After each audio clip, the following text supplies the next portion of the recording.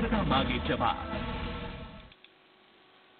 नमस्कार स्वराज एक्सेस के खास प्रोग्राम जनता मांगे जवाब में आपका स्वागत है। मैं हूँ एसपी त्रिपाठी कहते हैं, गुजरते वक्त के साथ किसी भी कहर का असर कम होने लगता है। लेकिन कोरोना वायरस में ऐसा कुछ भी नहीं हो रहा बल्कि इसका प्रकोप तो लगातार बढ़ता ही जा रहा है। देश में कोरोना के कुल केस साढ़े ग्यारह लाख के पार जा चुके हैं, जिसमें चार लाख से अधिक सक्रिय मामले हैं।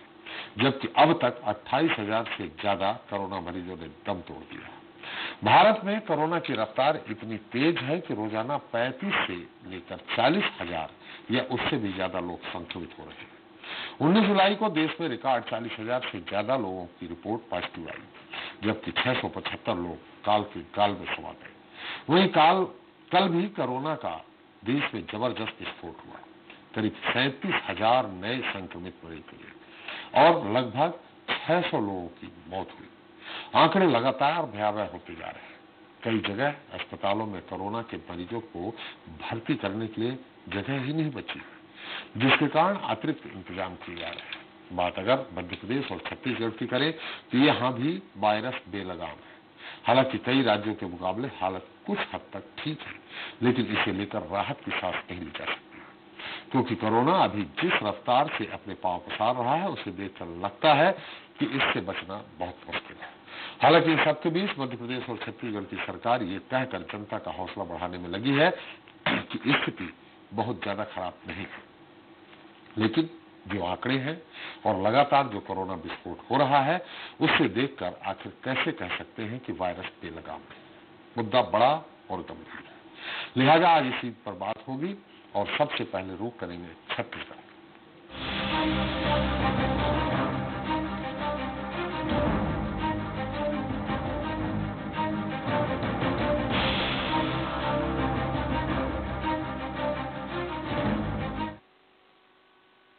तो छत्तीसगढ़ में अनलॉक होने के साथ ही मरीजों की संख्या में तेज़ी से बढ़ी है। जिसके बाद ये सवाल उठा है कि प्रदेश में क्या फिर से लॉकडाउन होगा?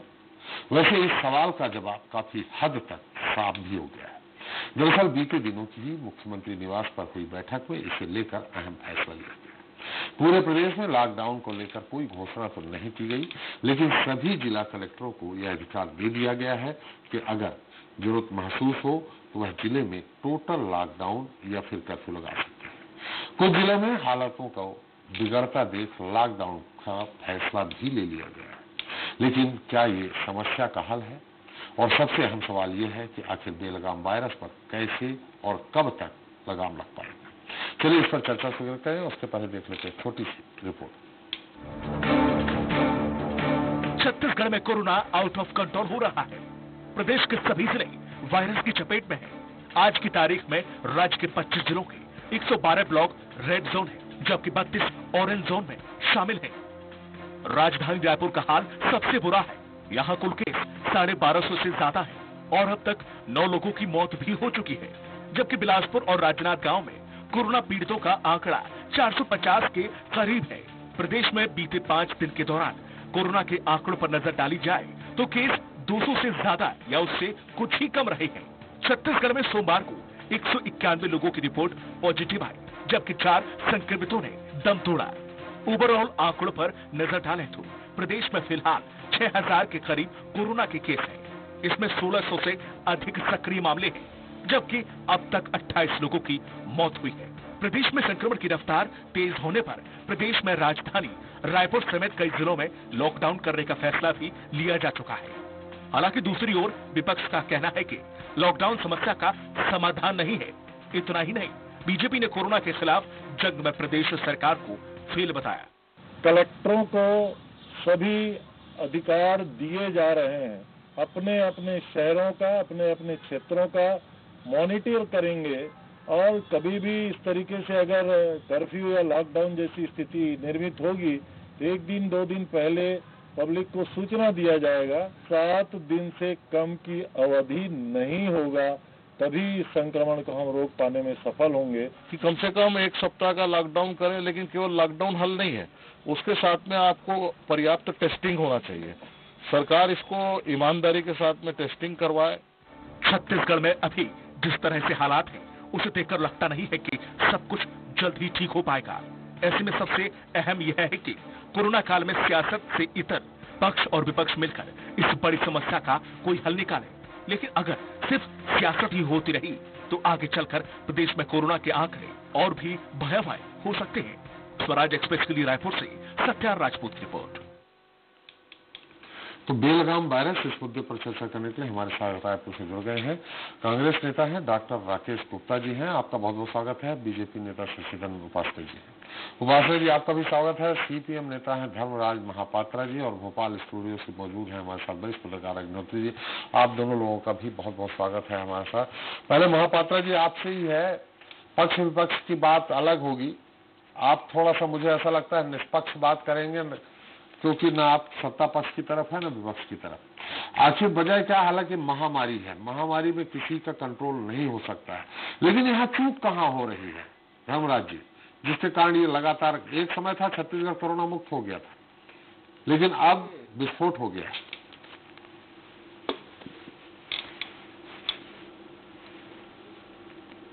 देखिए, इसका जो सबसे बड़ा कारण है उस कारण का के तह में मुझे लगता है थोड़ा जाने की आवश्यकता है। एक तो जैसे आपने शुरुआत में कहा कि ये महामारी है। जी। तो ये महामारी जो है जिस विकराल रूप में ये सामने आई है इसको केवल छत्तीसगढ़ के संदर्भ में सीमित करके देखेंगे तो मुझे लगता है कि हम सही नतीजे पर नहीं पहुँच पाएँगे और न ही हम समाधान के मामले में कोई सार्थक चर्चा कर पाएँगे। असली बात यह है कि शुरुआत से ही हमारे देश में इस कोरोना संकट से निपटने के जो तरीके ईजाद किए गए या इस पर जो गंभीरता होनी चाहिए थी उसका बड़ा अभाव रहा। और यही कारण है कि हमने ये देखा जब हमारे देश में भी देश के स्तर पर भी अनुभव है। छत्तीसगढ़ वो राज्य है जहाँ शुरुआत में जो है एम्स में यहाँ पर हेलीकॉप्टर जो कुछ पूरे देश में कुछ केंद्रों पर हेलीकॉप्टर से फूल वर्षा की गई केंद्र सरकार के द्वारा उसमें रायपुर एम्स में भी फूल वर्षा की गई थी। जी। तो इसीलिए और पहला तो जो जो देश में ही लॉकडाउन जिस तरीके से चलाया गया बिना तैयारी के अनप्लान तरीके से और उसके बाद जो है लॉकडाउन के बाद भी लॉकडाउन इसका कोई समाधान नहीं है हम्म, हम्म। लॉकडाउन जो है केवल एक चीज़ ये हो सकता है आप लोगों को घरों में अगर बंद करेंगे तो लोगों को आप ये केवल सुरक्षित करने की बात कर रहे हैं लेकिन लॉकडाउन से कोरोना वायरस से नहीं निपटा जा सकता कोरोना से अगर निपटना है तो सबसे बड़ी आवश्यकता है टेस्टिंग की। और टेस्टिंग के लिए मामले में केवल राज्य अकेले स्वतंत्र रूप से निर्णय नहीं ले सकता। छत्तीसगढ़ हो या पूरे देश में कोई भी अन्य राज्य, केंद्र सरकार से जो उनको मदद मिलनी चाहिए, हम समझते हैं वो मदद प्रॉपर मिल नहीं रही है।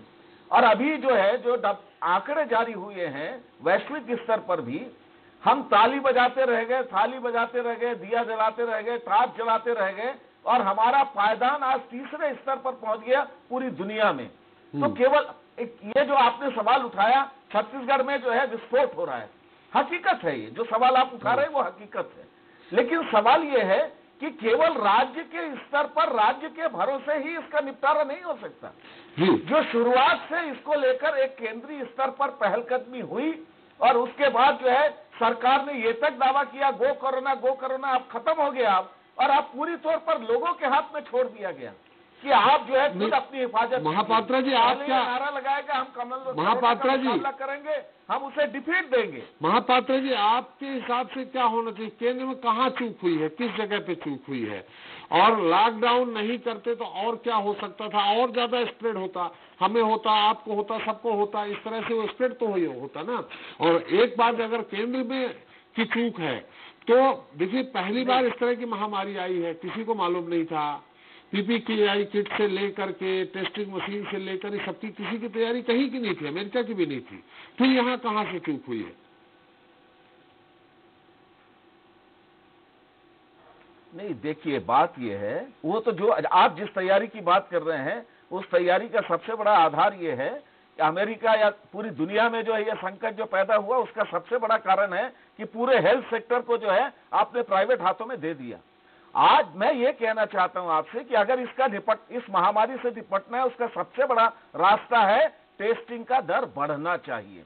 अगर आप टेस्टिंग नहीं बढ़ाएँगे तो जो लोग इससे पीड़ित हैं उन प्रभावितों को अगर आप आइसोलेट नहीं करेंगे उनको आइसोलेशन में अगर आप नहीं भेजेंगे तो इसको स्प्रेड आउट होने से कोई नहीं रोक सकता। लेकिन छत्तीसगढ़ के संदर्भ में भी ये लागू है, पूरे देश के संदर्भ में भी लागू है। अगर आप दुनिया का आंकड़ा उठाकर देखेंगे तो पर मिलियन, अमेरिका में जो आप जो बात कर रहे हैं, अमेरिका के अंदर और कुछ हो या ना हो, अमेरिका में टेस्टिंग तो हो रहा है ना। भारत के अंदर जो टेस्टिंग का आंकड़ा है, वो है पर मिलियन 9628 जो वर्ल्ड में सबसे लोएस्ट है। और इसीलिए मैं ये कह रहा हूँ, लॉकडाउन, आपने कहा लॉकडाउन आवश्यक था, होना चाहिए था। लेकिन जब आपने लॉकडाउन किया तब देश में केवल पाँच मामले थे। हमारे देश में जो है मौत का आंकड़ा शुरू नहीं हुआ था। हाँ। लेकिन आपने जो चार फ़ेज़ का लॉकडाउन पूरे देश में किया आज हालत ये आप ग्यारह लाख के पार पहुँच गए और आपने सब कुछ खोल दिया। तो आपका तो मतलब ये था कि लॉकडाउन अभी रखना इस्तेमाल होना था चाहिए था। हमारे देश में जो आप- जाँच आपका मतलब है लॉकडाउन अभी रखना था। नहीं मेरा ये कहना है आपसे मेरा ये कहना जी। नहीं नहीं आप आपने वही तो आप जब शुरुआत में लॉकडाउन किए बिना तैयारी के बिना तैयारी के आपने चार घंटे के नोटिस पर लॉकडाउन किया और उसका नतीजा ये हुआ उसके बाद जब लाखों की संख्या में लोग सड़कों पर उतरे आज आप ये कह रहे हैं कि ये जो मा- जी जी। थोड़ा सा तकनीकी कारणों से उनके पास महापात्रा जी माफ़ करिएगा आपकी बात पूरी नहीं हो पाई। हमारे साथ सच्चिदानंद जी हैं। सच्चिदानंद जी जैसा कि महापात्रा जी बोल रहे हैं, राकेश जी तो पूरा सरकार छत्तीसगढ़ की तरफ़ से उत्तर देंगे ही, अपना पक्ष रखेंगे ही। लेकिन ये जिस तरह से बिना तैयारी के लॉकडाउन किया गया, इसके पहले भी कई बार इस तरह की बहस हो चुकी कोरोना को लेकर के। उस समय भी ये बात निकल करके आई थी कि कम से कम सात से आठ दिन, नौ दिन का समय दे देते, सब लोग अपनी अपनी जगह पहुँच जाते। उस समय दर ज़रूर बढ़ सकती थी कि कोरोना संक्रमित लोगों की। लेकिन जिस तरह से अभी बढ़ रही है, संभवतः वो नहीं होती। इसलिए कि लोग बाद में विस्फोट कर रहे हैं। उसके पहले होता तो थोड़ा बहुत ही होता। ऐसी स्थिति में महापात्रा जी का कहना है कि बिना तैयारी के लॉकडाउन हुआ, जिसके कारण विस्फोट हो रहा है, जैसा मैं समझ रहा हूँ। क्या कहेंगे उपासना जी? यदि बिना तैयारी के लॉकडाउन होता तो छत्तीसगढ़ में ही स्वयं जो है तीन लाख लॉकडाउन तक जो है किसी भी प्रकार के मरीजों की संख्या नहीं बढ़ी। जी। वही लॉकडाउन था जिसके कारण से छत्तीसगढ़ पूरी तरह से सुरक्षित था और जब खुला है उसके बाद जिस प्रकार की परिस्थितियाँ यहाँ पर बनी है छत्तीसगढ़ में जो शराब दुकानें खुली हैं जी। और शराब दुकानें खुलने के बाद जो जिस प्रकार से वहाँ पर मारामारी शराब के लिए चली है जी। आज भी आप देखेंगे कि जिस इस परिस्थिति में भी शराब दुकानों में काउंटर तक पहुँचने के लिए किस प्रकार से एक दूसरे पर चढ़ाई करके काउंटर तक पहुँचते हैं? ये तो सारे राज्य में खुल गई है पालन नहीं कर रहे हैं। उपासना जी सारे राज्य में खुल गई है। शराब की दुकानें सारे राज्यों में हम तो हम तो कम से कम हम तो कम से कम सुरक्षित थे। जी। हम तो कम से कम सुरक्षित थे और ये प्रांत ऐसा था जहाँ पर कि हम एक दावे के साथ कह रहे थे कि हम पूर्ण शराबबंदी की ओर जा रहे हैं।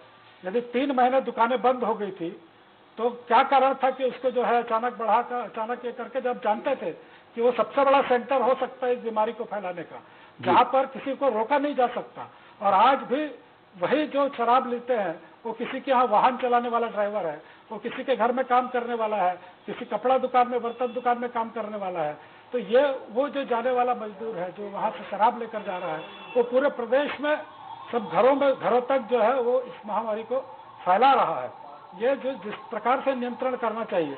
आज जिस प्रकार का लॉकडाउन किया गया तो आप कहते हैं समय देकर करना चाहिए। दो दिन का समय आपने दिया। जी। दो दिन में बाज़ार में क्या स्थिति है आप जाकर देख लीजिए। ऐसा लग रहा है मानो दिवाली की खरीदी कर रहे हैं। एक दूसरे के ऊपर टूटे जा रहे हैं।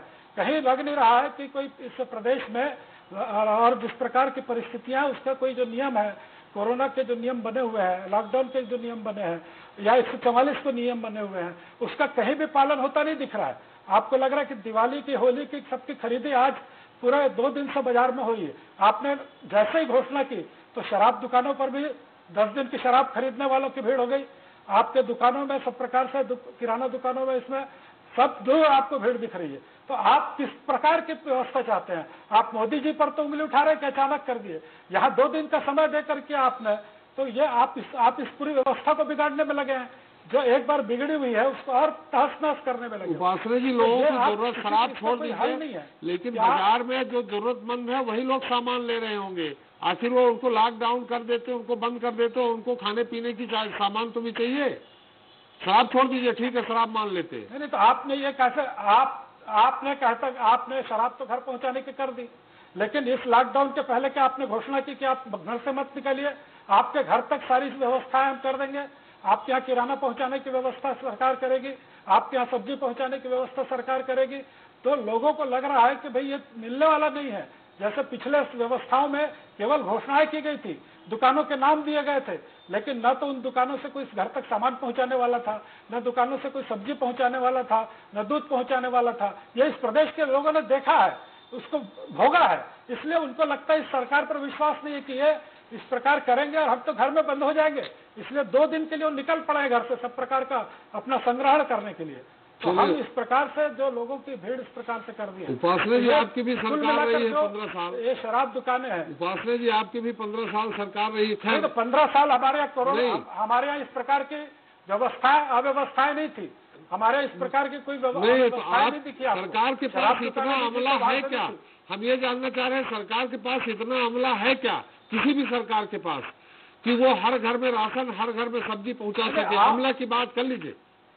आप कम से आप कम से कम व्यवस्था करने के पहले दुकानों के नाम घोषित करते।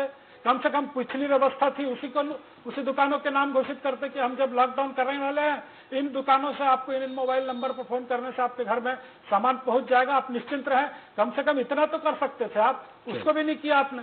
लगा दिया सीधा सीधा और आप केवल इसलिए लॉकडाउन इसलिए आपने किया कि आपको ये निगम आयोग बनाने थे आपको ये न्याय योजना बनानी थी इसलिए आप इतना लंबा समय करने के बाद आपने अपना सारा काम कर लिया और जनता को भगवान भरोसे छोड़ दिया। और अब आप जनता की चिंता कर रहे साहब आपने बहुत सारे आरोप लगाए बहुत सारे बातें कही राकेश जी का उत्तर भी तो ले लें।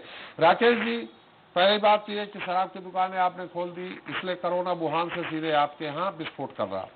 दूसरी बात आपने समय क्यों दिया? कि लॉकडाउन हम करने जा रहे हैं, दो दिन का और वहाँ दिवाली और होली जैसे वहाँ माहौल हो गया है।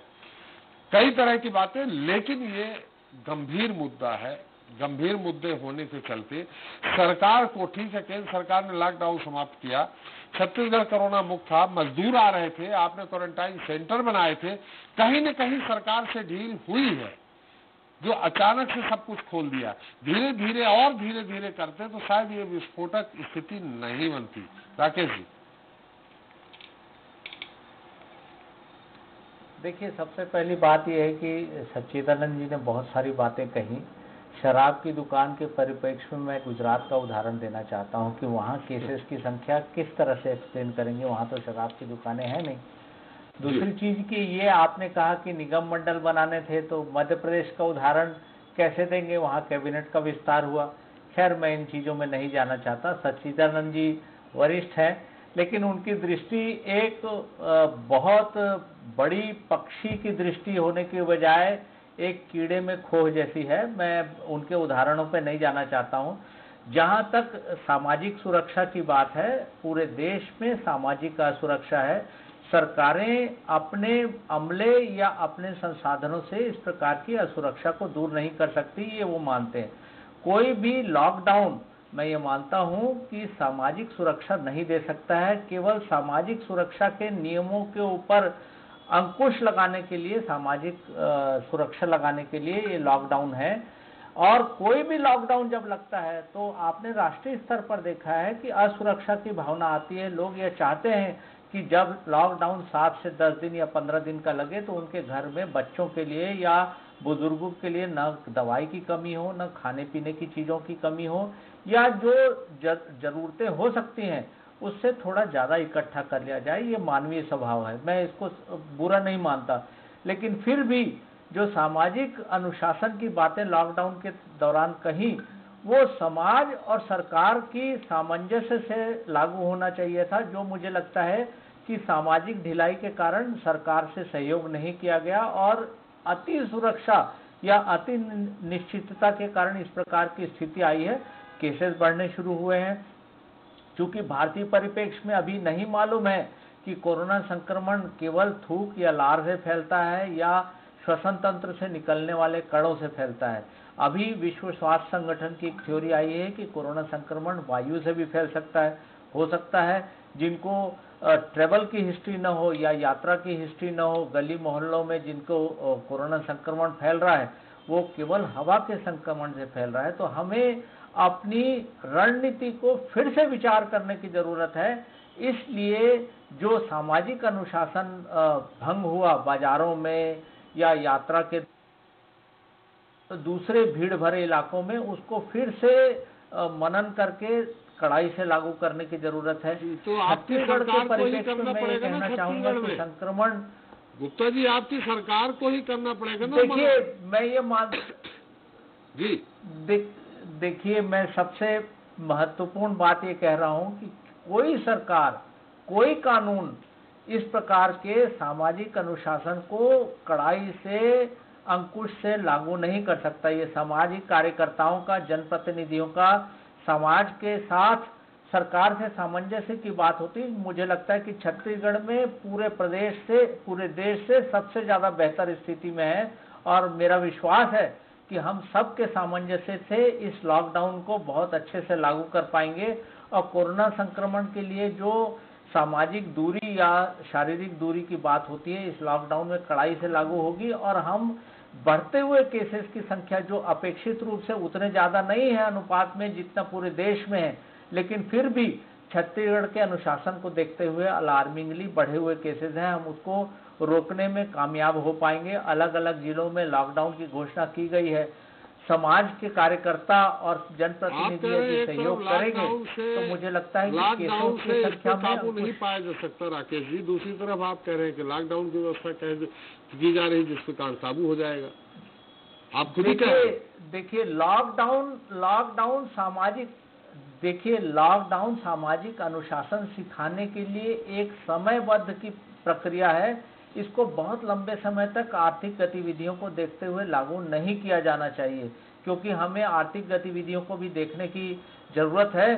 जो रोजी रोटी कमाने वाले लोग हैं या फिर जिनके भरोसे अर्थव्यवस्था चलती है, उनको भी देखने की ज़रूरत है। इसलिए धीरे धीरे लॉकडाउन हटाकर आर्थिक गतिविधियों को जिस प्रकार से लागू किया गया, मुझे लगता है कि लोगों में अति निश्चितता की स्थिति आने के कारण संक्रमण फैला है। हमें अति निश्चितता को एक किनारे रखते हुए अपने सामाजिक अनुशासन का ध्यान रखते हुए आर्थिक गतिविधियों को धीरे धीरे फिर से बढ़ाने की ज़रूरत है। लेकिन हम ये ध्यान रखें जो हमें सामाजिक अनुशासन मास्क का हाथ धोने का या फिर शारीरिक दूरी का सिखाया गया है उसका बहुत कड़ाई से पालन हो और प्रशासन को सबसे ज़्यादा इन्हीं चीज़ों पे ध्यान देने की ज़रूरत है। मतलब सरकार दोषी नहीं है तो अगर छत्तीसगढ़ सरकार दोषी नहीं तो फिर केंद्र सरकार भी दोषी नहीं है। राकेश जी तो आप डॉक्टर भी है मानना पड़ेगा आपको। देखिए देखिए मैं उस मनोवृत्ति का व्यक्ति नहीं हूँ जो एक दूसरे के ऊपर दोषारोपण करके स्थिति का हल निकालने से रोका जाए। पूरे देश को इस प्राकृतिक आपदा से लड़ने की ज़रूरत है और आपस में सहयोग की मुद्रा में काम करना होगा। हम यदि आज सोचेंगे कि हमें सहयोग नहीं मिल रहा है इसलिए हम सहयोग नहीं करेंगे, उस स्थिति से, उस मनोवृत्ति से बाहर निकलने की ज़रूरत है, क्योंकि नुकसान अंत में जनता या गरीब वर्ग का ही होने वाला है। यहाँ छत्तीसगढ़ में उस प्रकार की स्थिति नहीं है। हम हर प्रकार से सहयोग की मुद्रा में और हम चाहते हैं कि केंद्र सरकार एक बड़े भाई या पालक के रूप में छत्तीसगढ़ को देखे और जिस प्रकार से सहायता देने में सौतेला व्यवहार किया जा रहा है वो कम से कम छत्तीसगढ़ के साथ न हो। हम चाहते हैं कि छत्तीसगढ़ दूसरे राज्यों के समान मॉडल के रूप में काम करे और कोरोना संक्रमण जल्दी से जल्दी यहाँ काबू में आए। केंद्र सरकार हमारे साथ सहयोग करे और जिस प्रकार सहायता की ज़रूरत है सभी क्षेत्रों में वो जैसे दूसरे भाजपा शासित राज्यों में दी जा रही है छत्तीसगढ़ को भी अपना बनाकर दिए जाने की ज़रूरत है। ये किस तरह से अलग दूसरे राज्यों में दी गई सिर्फ़ आप वो पैकेज की बात करेंगे उपासना जी से उत्तर लेंगे। महापात्रा जी जो उपासना जी कुछ कह रहे थे अपने पक्ष रख रहे थे तो आप उसमें कहीं न कहीं किस जगह पे आप बोलने वाले थे कि नहीं आपको बोलना है आप बार बार कुछ उत्साहित दिख रहे थे? नहीं उत्साहित नहीं मैं केवल एक ही चीज़ पर उनका ध्यान आकर्षित करना चाहूँगा। कि उन्होंने जो है छत्तीसगढ़ में जो ये कोरोना का स्पोर्ट जिस शब्द का आपने इस्तेमाल किया उसके लिए केवल शराब को जो है दोषी ठहराने का जो उन्होंने बात कही अगर वो के, केवल अगर उस नज़रिए से कहेंगे तो आप बिहार के बारे में क्या कहेंगे? जी। अगर उस नज़रिए से केवल शराब पर को ही अगर मान लीजिए कोरोना के विस्फोट के लिए अगर आप जिम्मेदार ठहराएँगे फिर गुजरात के बारे में आप क्या कहेंगे? वो भी ठहराया है कि जो लॉकडाउन जिस तरह से किया गया है मैं दो बातें आपसे कहना लॉकडाउन जिस तरह से किया है भूपेश सरकार ने उसमें कई खामियाँ वो गिना रहे थे वो भी गिनाया उन्होंने।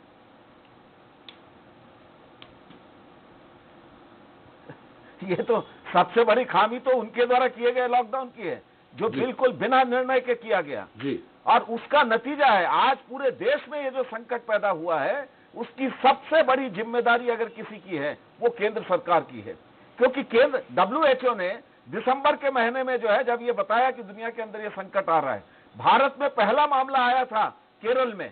और केरल की राज्य सरकार ने उसको जिस तरीके से डील किया जिस तरीके से उसको नियंत्रित करने के लिए कदम उठाया आज पूरी दुनिया उसको रोल मॉडल मान रही है। ये अलग बात है कि वहाँ जो है वामपंथियों की सरकार है इसलिए भाजपा की केंद्र सरकार जो है केरल के उस मॉडल को जो है पूरे देश में अमल में लाने से इंकार कर रही है या उसे स्वीकार नहीं कर रही है। लेकिन दुनिया उसको स्वीकार कर रही है यूनाइटेड नेशन और डब्ल्यूएचओ ने भी इसे स्वीकार किया। लेकिन तब केंद्र सरकार ने क्या कहा? ये डॉक्टर हर्षवर्धन जो केंद्रीय स्वास्थ्य मंत्री है। सत्रह मार्च को उनका पहला बयान आया। हमारे यहाँ इस किस्म का जो है, कोई संकट नहीं है। और आप नमस्ते ट्रंप में लगे रहे। आप मध्य प्रदेश की सरकार बदलने में लगे रहे। इसलिए मैं ये कहना चाहता हूँ, आज जब ये कोरोना महामारी इतना व्यापक रूप ले लिया है तो केंद्र सरकार को, राज्य सरकार के साथ, समन्वय के साथ सबसे पहला काम टेस्टिंग के मामले बढ़ाना चाहिए उसके लिए जो संसाधन है वो उपलब्ध कराना चाहिए। ये राज्य सरकार की भी ज़िम्मेदारी है। हम उनसे भी मांग करते हैं टेस्टिंग बढ़ना चाहिए।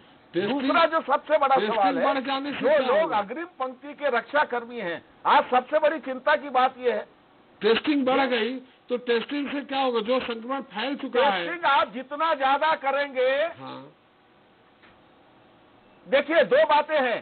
टेस्टिंग से सबसे बड़ा लाभ ये होगा जो संक्रमित लोग हैं उनको अगर आप आइसोलेट करेंगे तो आप इस, इस संक्रमण को और विस्तृत होने से रोक सकते हैं। हम्म, हम्म, और विस्तृत होने से रोक सकते हैं। जी। और इसीलिए जो है टेस्टिंग की सबसे बड़ी आवश्यकता है।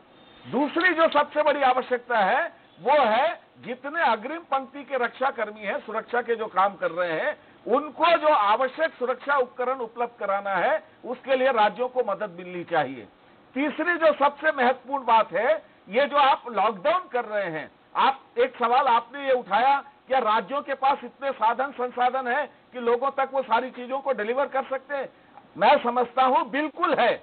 अगर if there is a will there is a way राज्य के पास, सरकार के पास, चाहे राज्य हो या केंद्र, उनके पास जो साधन और संसाधन, उनकी मशीनरी इतनी है कि अगर वो खुद ये तय करें कि लोगों को राहत उपलब्ध कराएँ तो वो कर सकते हैं। ये काम दिल्ली में केजरीवाल कर रहे हैं। ये काम केरल में जो है वामपंथियों की सरकार कर रही है। जनता तक सीधे जो है राहत सामग्री पहुंचाई जा रही है। छत्तीसगढ़ में भी अगर सरकार चाहे तो ये कर सकती है। देखिए ये मध्य प्रदेश में भी पहुंचाई गई है। तीसरी कई शहरों में पहुंचाई गई है, लेकिन वो व्यवस्था उस तरह नहीं हुई है जैसा आप कह रहे हैं। नहीं वो बिल्कुल सही बात है उसको और दुरुस्त करना है। तीसरा जो सबसे महत्वपूर्ण बात है अगर कोई भी लॉकडाउन आप कर रहे हैं वो लॉकडाउन को प्रभावी बनाने के लिए ज़रूरी है। इस लॉकडाउन में जिनको आप घरों के अंदर रख रहे हैं जिनके पास आय का कोई ज़रिया नहीं है जो रोज कमाने खाने पर विश्वास करते हैं उनकी आर्थिक जो समस्या है उनके जो पेट की जो समस्या है उसका निदान करने के लिए राज्य को या सरकार को जो हस्तक्षेप करना है मदद और राहत पहुंचानी है वो अगर आप नहीं करेंगे तो वो जो है इस लॉकडाउन में आप अगर उनको केवल घरों में बंद कर देंगे तो फिर आप इसके ज़रिए जो कोरोना के विस्तार पर अंकुश लगाना चाहते हैं महापात्र जी समय कम है। तो हर सरकार को इस मामले में भी संवेदनशील बनना होगा। महापात्र उपाध्याय जी क्या कहेंगे? चलते चलते आप समय कम है। देखिए देखिए डॉक्टर गुप्ता जी ने जिस प्रकार से सामाजिक और अपने सरकार का कहा है कि सामाजिक बात कही उन्होंने। यदि ये सरकार वास्तव में गंभीर है। तो टेस्टिंग के बारे में भी मंत्री जी ने कहा कि टेस्टिंग बढ़ी है तो ये कोरोना के मरीज़ बढ़े हैं। टेस्टिंग को जितना बढ़ाते जाएँगे ये बढ़ाना ही चाहिए। टेस्टिंग इन्होंने कम की। क्वारंटाइन सेंटर्स की व्यवस्था इन्होंने बराबर नहीं की, जिसके कारण इस प्रकार के आज अस्पतालों में, डीक हॉस्पिटल में आप मरीज़ भाग रही है। भागे जा रहे कल से दो मरीज़ भागे वहाँ से। किस प्रकार की व्यवस्था है? भाग करो, बस्ती में जा रहे हैं, वहाँ और फैला रहे हैं। तो वहाँ पर आप इस प्रकार की व्यवस्थाएँ जो आपकी सरकार की है, वो चुस्त दुरुस्त नहीं है। वो कहीं ना कहीं उसके कारण आप क्वारंटाइन सेंटर में मौतें हुई। क्वारंटाइन सेंटर में आप कोरोना के मरीज़ पाए गए। तो ये आपने व्यवस्थाएँ वहाँ पर ठीक नहीं की। आप यदि वास्तव में सामाजिक बात करते हैं तो क्या ये लॉकडाउन के पहले जैसे माननीय मोदी जी लगातार विपक्ष, पूरे देश के प्रधान मुख्यमंत्रियों से बात करते रहे यदि वास्तव में गलत था उनका निर्णय तो किसी एक मुख्यमंत्री ने वहाँ पर नहीं कहा कि मोदी जी आपका निर्णय गलत था। वो बल्कि उसको लॉकडाउन को बढ़ाने के वहाँ मीटिंग में जाने के पहले घोषणा कर देते थे। लॉकडाउन की स्वीकारोक्ति ये दोनों वक्ता जो है वो लॉकडाउन को गलत ठहरा रहे हैं।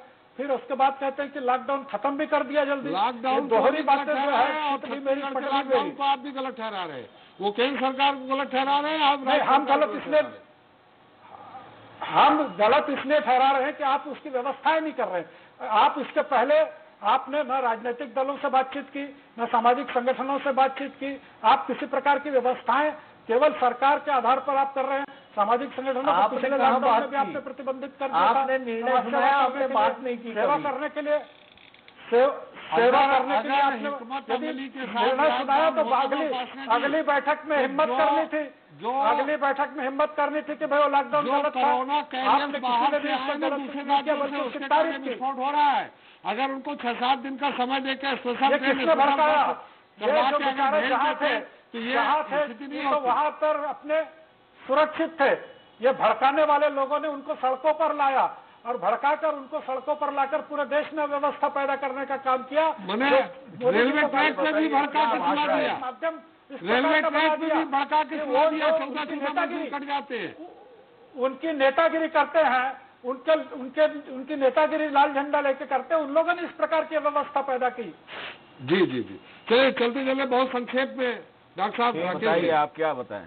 गरीब मजदूरों के लिए ऐसी बात कही जा रही है। राकेश जी बहुत संक्षेप में हमारा समझ क्या कहें आप इसे? जी। राकेश जी ये कौन सी भाषा इस्तेमाल हो रही है? चलिए महापात्रा जी समय लोग जो है रेल ट्रैक पर जान दे रहे हैं उसको भी जो है ये ये। जी। महापात्रा जी समय समाप्त हो राकेश जी। शेम शेम जी। बहुत दुखद है। सेम सेम तो इस सरकार के लिए है। सबसे पहली बात यह है कि प्राकृतिक आपदा को राजनीतिक नज़रिए से बाहर निकल के देखना होगा सरकार का है। आप। जो है जो लोग सड़कों पर जान दिए हैं आप उनके बारे में पूरी तौर पर का है। ये हालत है जहाँ रेलवे लोगों ने जान दी है शर्म आनी चाहिए। मोदी जी को शर्म आनी चाहिए केंद्र सरकार। यदि यदि यदि मृत व्यक्तियों के लिए मृत मजदूरों के लिए सरकार का नज़रिया है तो वो उनकी विचार लोग इतने अमान्य हो। सकते हैं। बिल्कुल गलत बातियों पर मरने वाले लोगों पर संवेदना व्यक्त नहीं करते। ऐसी विचारधारा पर शर्म आती है। कैसी बात कर रहे हैं? कितना महत्वपूर्ण होता है उस व्यक्ति को आप वहाँ पर मार रहे हैं। क्या एक व्यक्ति का जीवन आपके लिए महत्वपूर्ण नहीं जो क्वारंटाइन सेंटर कम कम से कम आप संवेदना संवेदना व्यक्त कर दीजिए। वो मजदूर किसी पार्टी के नहीं थे वो गरीब लोग थे। किस प्रकार की बात कर रहे हैं आप? अरे वो सबको मालूम है गरीब गरीबों को किस प्रकार से आपने सड़कों पर निकाला सबको मालूम है? चलिए चलिए समय हमारा समाप्त हो गया। माफ़ करिएगा जी आपकी टिप्पणी लेनी थी लेकिन अरे जी जी। चलिए सेम सेम महापात्रा जी बहुत बहुत धन्यवाद आपका राकेश जी आपका सचिदानंद जी आपका भी हमारे साथ जुड़ने के लिए हमारे साथ चर्चा करने के लिए। तो छत्तीसगढ़ में किलर कोरोना अब जमकर अपना कहर बरपा रहा। लिहाजा आने वाले समय में स्थितियाँ बहुत ज़्यादा बिगड़ भी सकती हैं, ऐसे में ज़रूरी है कि इस भीषण संकट के समय राजनीति के बजाय वायरस से बचाव को लेकर ठोस विकल्प तलाशे जाए। क्योंकि अगर इसी तरह जुबानी जंग होती रहेगी, पार्टियाँ एक दूसरे को जिम्मेदार ठहराती रहेंगी तो फिर कोरोना को पूरी तरह से बेकाबू होने में ज़्यादा वक्त नहीं लगेगा। क्या राजनीति से इतर लोगों को चाहिए कि वो शासन प्रशासन के निर्देशों को पालन करें, क्योंकि फ़िलहाल तो सावधानी में ही बचाव है। चलिए, छत्तीसगढ़ के बाद अब बात करते हैं।